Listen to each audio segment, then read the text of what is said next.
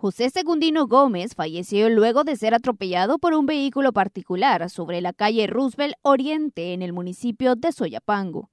Él tenía aproximadamente 25 años de trabajar en la municipalidad como recolector en un camión de aseo y mientras realizaba sus labores fue impactado por el vehículo, quien según testigos transitaba a excesiva velocidad. Muchacho, compañero de trabajo, pasaba los desechos sólidos hacia el lado izquierdo de, esta carretera.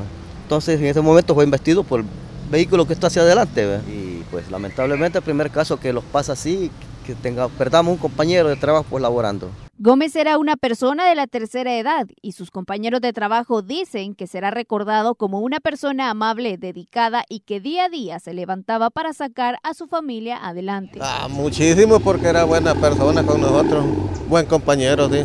Así Y como en la calle es que trabajamos que lo respeten cuando el camión está pues en función, va.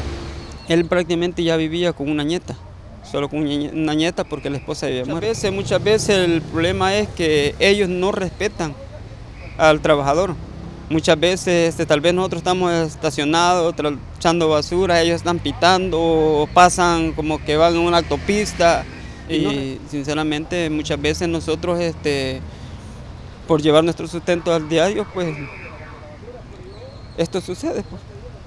El conductor del vehículo involucrado se mantuvo en la escena para que autoridades realizaran las inspecciones e investigaciones debidas y deducir responsabilidades del hecho. Durante la primera semana de enero del 2024, el Observatorio Nacional de Seguridad Vial registra 26 personas fallecidas en percances viales.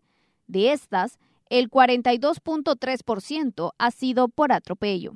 Con imágenes de Juan Castellanos, un informe de Carla Araniva.